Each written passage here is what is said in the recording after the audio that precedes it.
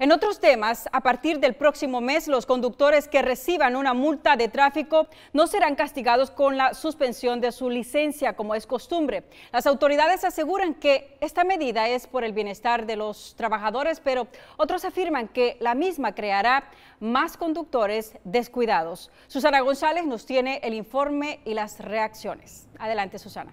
Sí, Regina, esta nueva ley entraría en efecto el primero de julio, pero oficiales nos cuentan que no todos podrán cantar victoria. Una licencia de conducir es suspendida bajo las siguientes condiciones. Por manejar bajo los efectos del alcohol o drogas, por no presentarse en corte o por la falta de pago de una infracción de tránsito. Es decir, que en la actualidad, en este momento, hay 480 mil personas que tienen sus licencias suspendidas. Pero esta ley solo le aplica a las personas que hayan recibido multas de tránsito algo de lo cual algunos conductores están de acuerdo, ya que esto dicen les permitiría continuar con sus trabajos y vida cotidiana. Si me dan el ticket y no me quitan la licencia, sería mejor para mí porque puedo seguir conduciendo. Sin embargo, hay otros que dicen que esta nueva ley promocionaría que más personas manejen irresponsablemente.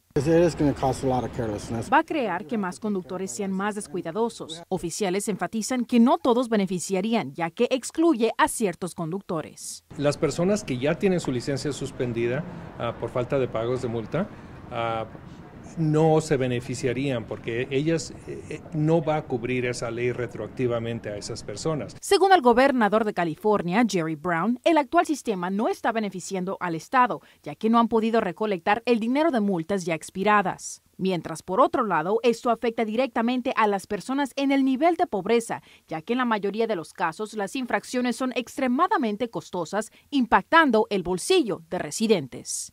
Senadores han presentado otras medidas que permitirían a conductores de bajos recursos económicos sustituir su multa por servicio comunitario o disminuir el precio de la misma. Desde Sacramento, Susana González, regresamos a los estudios.